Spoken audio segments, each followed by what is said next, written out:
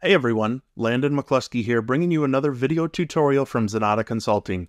In today's video, I'm going to walk you through setting up the basics of your Zoho Desk Help Center. If perchance you like what you see in the video today, feel free to like it, share it, and maybe even subscribe to our YouTube channel. Yeah, that button right there. Yeah, that one. Without any further ado, here's the video.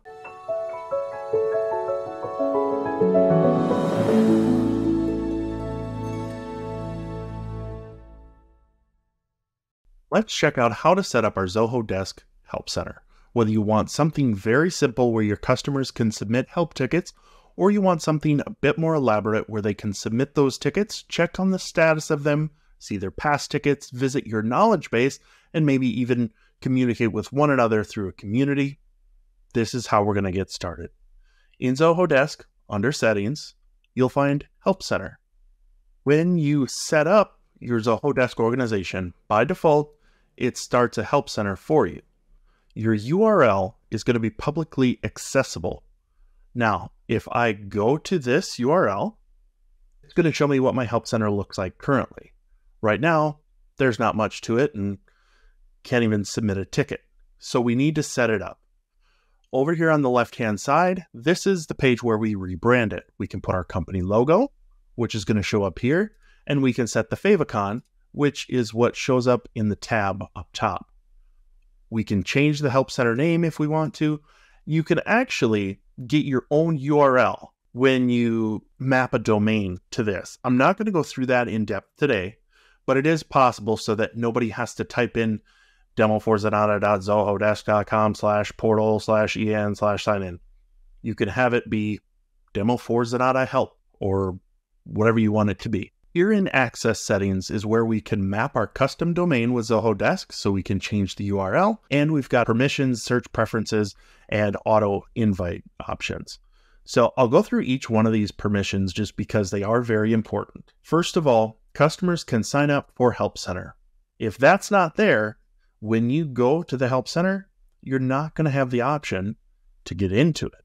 If you enable this, it's going to give you a second option called that says moderate customer signups in the help center.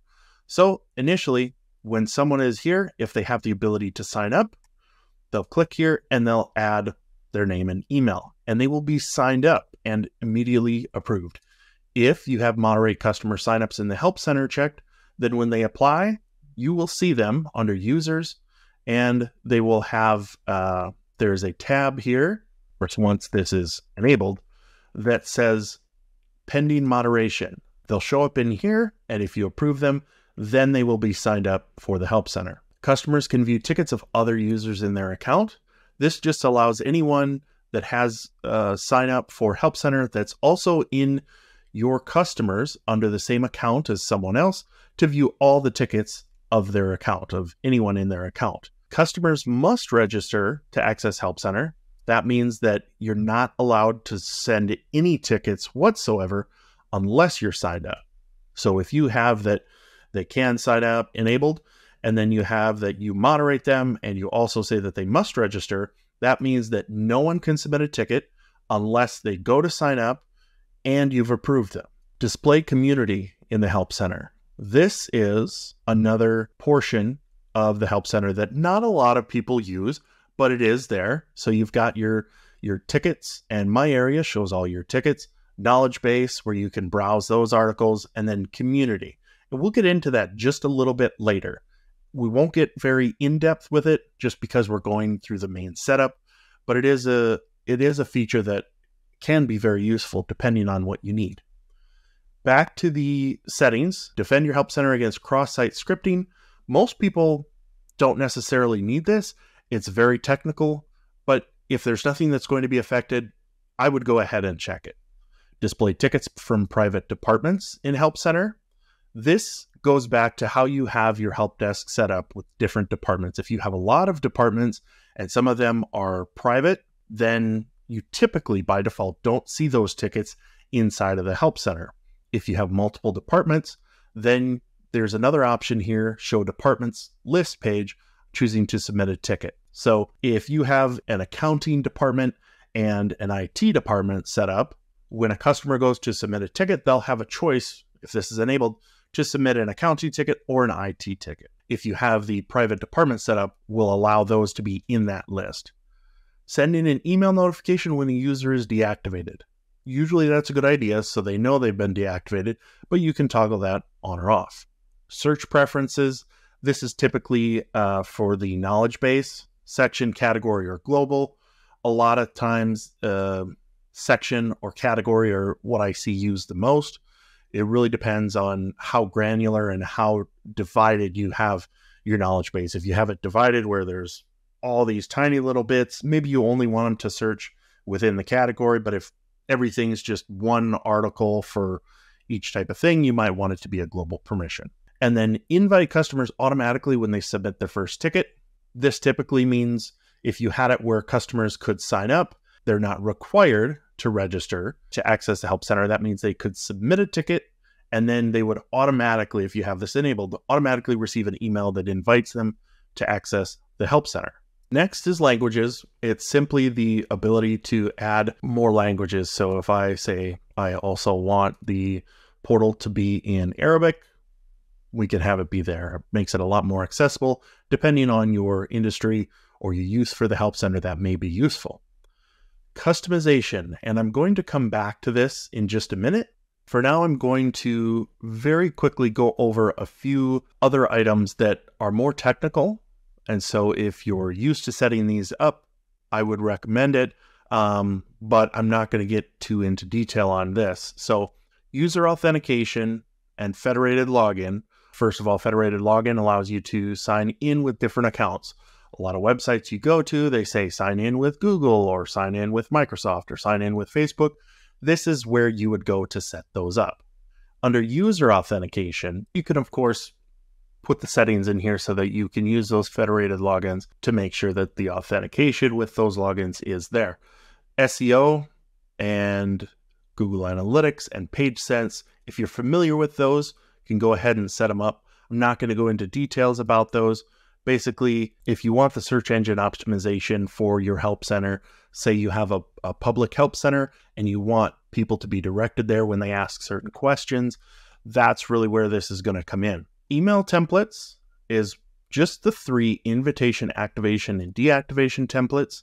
When you send your invitation, it's pretty basic and for the most part does the job initially. If you want it to look fancy, if you want different information on here, anything like that, you'll just go ahead and put that here. Under users, we saw this already for pending moderation, but here you see all the users active, invited, deactivated. So you can invite them directly from here. You just put their email in and send an invite. They'll receive that invitation and they'll come in here. So super cool dude, Bob's your uncle at test.com has been invited but has not accepted it. It's unfortunate. Seems like a super cool dude. User labels and groups are a little bit different. So, user groups are what we can use to apply different knowledge based categories so they can see different categories or sections so that different viewing access is available. So maybe you have different user groups for different levels of employees or for different companies, something like that. User labels is really just a, especially if you have the community tab enabled, allows people to see so you may have super users as a label or community influencer or community contributor, something like that.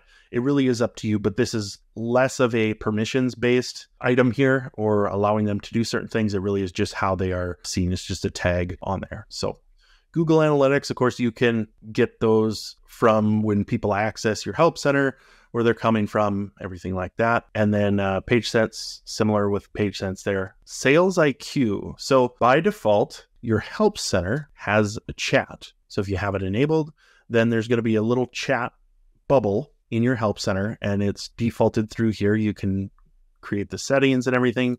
Or if you use Sales IQ for your website, you may want to set up with the Sales IQ chat and just replaces the default.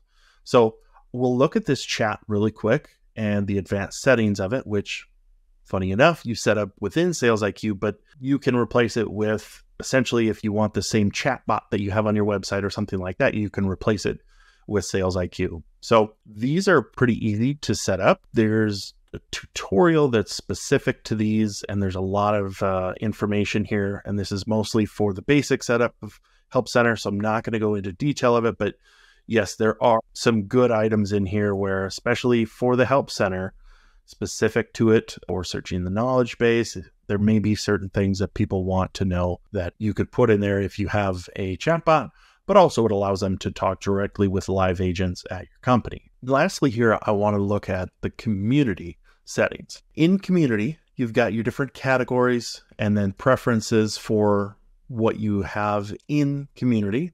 Under categories, we'll open this one up. In your different categories, you can add forums specifically in there, topics within those forums, and then, of course, comments on that. A very good example of how this can be set up without me explaining it and going through different examples. A very good place that you can check out is actually if you just go to help.zoho.com.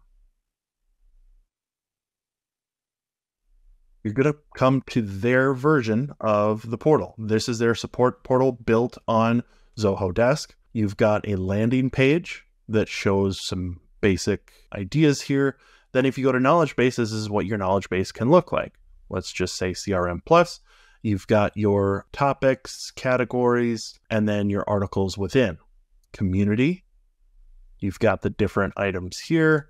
Say we want to go to Zoho campaigns. We've got all of these discussions, questions, ideas, problems this is a very good place to go if you want an example of how your help center could be set up.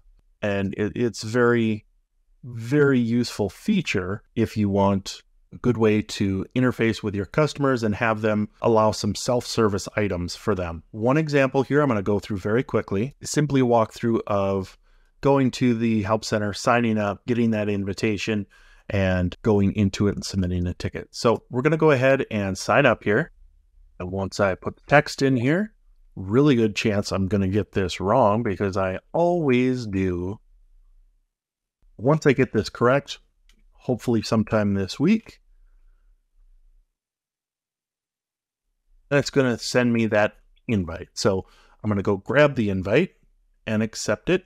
Actually, I forgot that I had approval turned on. So we're going to go into users here, find ourselves um, pending moderation, and we're going to approve this guy. So now he's invited. We can find him under invited here along with the super cool dude. So I'm going to go accept that email. And once I've accepted it, I'll come back to the help desk and sign in. This is what it currently looks like. Got our knowledge base, community, and tickets. So let's go ahead and click to find tickets under my area. We'll go ahead and add a ticket here. It's for the account that we're part of tests for subject, description, and then additional, we're going to say it's high priority. Most of the time, you don't want your user to be able to say what priority it is. You want to do that um, internally. So we'll submit it. And now we can actually see that right here. We can click into it and find what the content was, we can also reply before we get a response from the company, can chat about the ticket. Of course, we can print off what it is. If we go to my area one more time, it pulls it right here and it'll have a list of our tickets. Knowledge base, we don't have any knowledge base articles in here, but this is where they'll be. Community, this is the basics of discussion announcement, question, idea, problem. Like I said, if you go to help.zoho.com, there's very good examples. It's very well built out and very extensive. So I would recommend checking that out. Hope you've enjoyed this tutorial, and I will see you next time.